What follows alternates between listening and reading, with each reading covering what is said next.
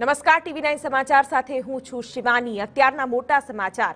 નર્મદા જિલ્લામાં સરકારી શાળામાં નશાની હાલતમાં ઝડપાયો એક શિક્ષક. ગરુડેશ્વરના કોયારી પ્રાથમિક શાળાના શિક્ષકની કરતૂત સામે આવી છે. શિક્ષકે નશાની હાલતમાં ક્લાસરૂમમાં આરામ ફરમાવ્યાના દ્રશ્યો સામે આવ્યા. વિદ્યાર્થીઓની હાજરીમાં જ પીધેલા શિક્ષકની શરમજનક કરતૂત, જેમાં શિક્ષક રાજુ સોલંકીની કરતૂતથી શાળાનો સ્ટાફ પણ પરેશાન હોવાની જાણકારી હાલ તો મળી રહી છે.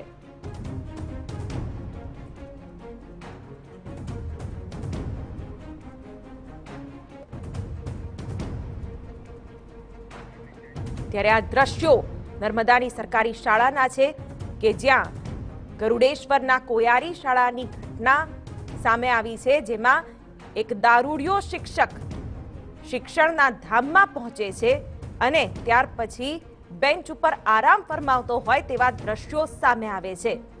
દ્રશ્યોમાં આગળ તમે એ પણ જોશો કે બાળકો પણ આ જ ક્લાસરૂમમાં હાજર છે.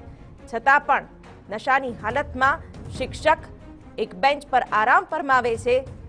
વિદ્યાર્થીઓમાં પણ ક્યાંક કુતૂહલ છે કે શિક્ષક આ શું કરી રહ્યા છે? ત્યારે સવાલ અનેક થઈ રહ્યા છે. શું શિક્ષણના ધામમાં આ પ્રકારની પ્રવૃત્તિ થઈ રહી છે? તો તેની સામે કોઈ પગલાં લેવાયા છે કે કેમ? કારણ કે જાણકારી એ સામે આવી રહી છે કે શિક્ષક વારંવાર દારૂ પીને આવે છે અને શાળાનો સ્ટાફ પણ આ રીતની હરકતોથી પરેશાન છે. પરંતુ કેમ વિદ્યાના ધામમાં શિક્ષક ભાન ભૂલે છે તે સવાલ થઈ રહ્યો છે? અને શું ઉચ્ચ સ્તરે ક્યારેય આની રજૂઆત થઈ છે કે કોઈ પગલાં લેવાની વાત થઈ છે કે કેમ? તે પણ સવાલ થઈ રહ્યો છે.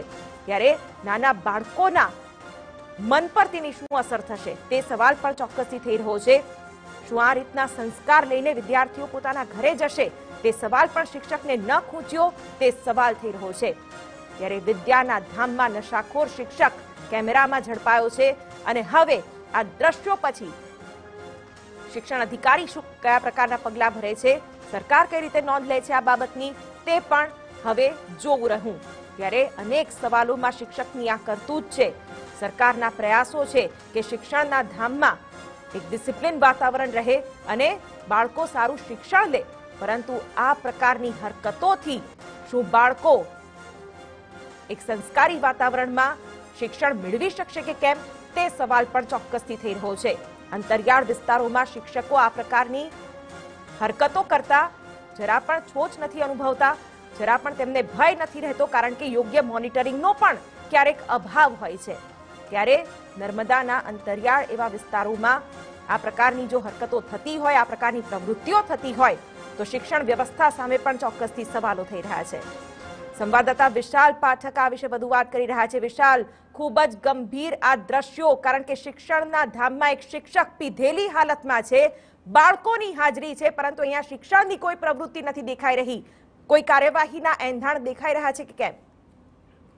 ચોક્કસ જે આજે વીડિયો જે વાયરલ થયો છે એ એક ગઢેશ્વર તાલુકાની જે કોયરી ગામ છે, ત્યાંનો વીડિયો છે અને શિક્ષક વહેલી સવારની અત્યારે જે ઉનાળાના સમયને કારણે સ્કૂલો જે સવારની છે ત્યારે સ્કૂલમાં આ શિક્ષક આ કેફી દ્રવ્ય પીને સૂતો હોય એવો વીડિયો જે વાયરલ થયો છે અને ગ્રામજનોએ પણ એને ઉઠાડવાના પ્રયત્નો કર્યા, પરંતુ કોઈ એને હિલચાલ દેખાય નહીં. અને જ્યારે વાત કરીએ, જો એની સામે પગલાની જો વાત કરીએ, તો જિલ્લા શિક્ષણ અધિકારીએ એની સામે પગલા લેવાની કાર્યવાહી અત્યારે ચાલુ કરી દીધી છે. અને જ્યાં જે ગામ છે, ત્યાં શિક્ષણ અધિકારી એમની ટીમો પણ મોકલી છે તપાસ માટે. અને આગળ તપાસ થયા બાદ જ ખબર પડશે કે એની સામે શું પગલા લેવાઈ રહ્યા છે. બિલકુલ, વિશાલ ખાસ તો બાળકોની પણ હાજરી છે. વાલીઓએ આ કરતૂતની નોંધ લીધી છે. જાણકારી એવી પણ સામે આવી રહી છે કે શાળાનો સ્ટાફ પણ આ પ્રકારની પ્રવૃત્તિથી પરેશાન હતો.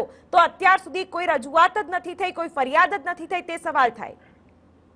ચોક્કસ. જે વાત છે કે જે વાલીઓ છે એ લોકોએ જ આ વીડિયો વાયરલ કર્યો છે. કારણ કે સવારની સ્કૂલ હતી અને જ્યારે વાલીઓ પોતાના નર્મદા જિલ્લાના ડીપીઓ જયેશ પટેલ જોડાઈ ગયા છે.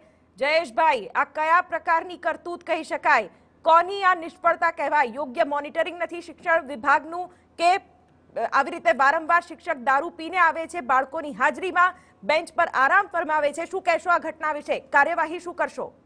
બિલકુલ આ ઘટનાની અમને જાણ થતા તાત્કાલિક ટીપીઓ સાથેની ટીમ બનાવી સ્થળ તપાસ માટે મોકલી આપી છે. અને ટીમ ત્યાં અત્યારે હાજર છે અને વાલી એસએમસી ના સભ્યો બાળકો અને શિક્ષકોના નિવેદનો લઈને એ મને સ્વયં સ્પષ્ટ અભિપ્રાય આપશે.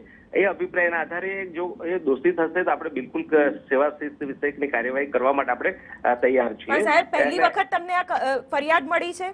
પહેલી વખત આ પહેલી વખત. પહેલી વખત આપણને ફરિયાદ મળી છે. બિલકુલ જી. ઓકે. જયેશભાઈ ખાસ કરીને આ પ્રકારની જે અંતરિયાળ વિસ્તારોમાં શાળાઓ આવેલી હોય છે ત્યાં સમયાંતરે મોનિટરિંગની પણ આવશ્યકતા હોય છે, જેથી કરીને શિક્ષણ વ્યવસ્થા સુવ્યવસ્થિત રીતે ચાલી રહી છે કે કેમ તે પણ તમને ખ્યાલ હોવો જોઈએ. આ પ્રકારની ઘટનાઓ વારંવાર સામે આવે છે આ વિસ્તારોમાંથી. એનું શું કરશો? બિલકુલ મોનિટરિંગ વ્યવસ્થા ગોઠવાયેલી છે અને મોનિટરિંગ સતત થતું રહે છે અને હું પણ સ્કૂલોની વિઝિટ કરું છું. પણ આવું આ એક ઘટના બની છે એટલે આપણે તપાસ કરીને બિલકુલ કાયદેસરની કાર્યવાહી કરીશું. એમાં કોઈ આપણે કાચું નહીં રાખીએ. જયેશભાઈ એક જવાબની અપેક્ષા આપની પાસેથી રાખું. કઈ કાર્યવાહી થશે? કારણ કે આ પ્રકારની પ્રવૃત્તિઓ પછી શિક્ષકોની બદલી કરવામાં આવે છે. તેની સામે કોઈ એવી નક્કર કાર્યવાહી નથી થતી જેથી કરીને આવી હરકત કરતા તેને ડર લાગે. સ્થળ તપાસના રિપોર્ટના આધારે ગુણદોષ આધારે જે સેવા વિષયક શિક્ષાના જે પ્રકારો છે એ પ્રકારની જે કાર્યવાહી કરવાની થાય એ હું ચોક્કસ કરીશ. પણ માત્ર બદલીથી કઈ નથી થતું સાહેબ. ના ના કરીશું કરીશું. આપણે નમૂનારૂપ દાખલો બેસાડીશું. બિલકુલ? ઠીક છે. તો ઓકે. ડીપીઓ જયેશ પટેલ કહી રહ્યા છે કે નમૂનારૂપ કાર્યવાહી કરવામાં આવશે, જો કે પીધેલા શિક્ષક વિરુદ્ધ તપાસના આદેશ આપી દેવાયા છે, પણ કોઈ પણ એવી નક્કર કામગીરી કે પગલાં નથી લેવાતા જેના કારણે આવી ઘટનાઓનું પુનરાવર્તન થતું રહે છે. નર્મદાના અંતરિયાળ વિસ્તારમાં ગરુડેશ્વરના કોયારી શાળાની આ ઘટના છે, જેમાં નાના ભૂલકાઓના મન મસ્તિષ્ક પર તેની શું અસર થશે તેની આ શિક્ષકને કદાચ કોઈ દરકાર જ નથી અને તે પીધેલી હાલતમાં શિક્ષણના ધામમાં પહોંચે છે અને બેન્ચ પર આરામ ફરમાવતો પણ જોવા મળે છે.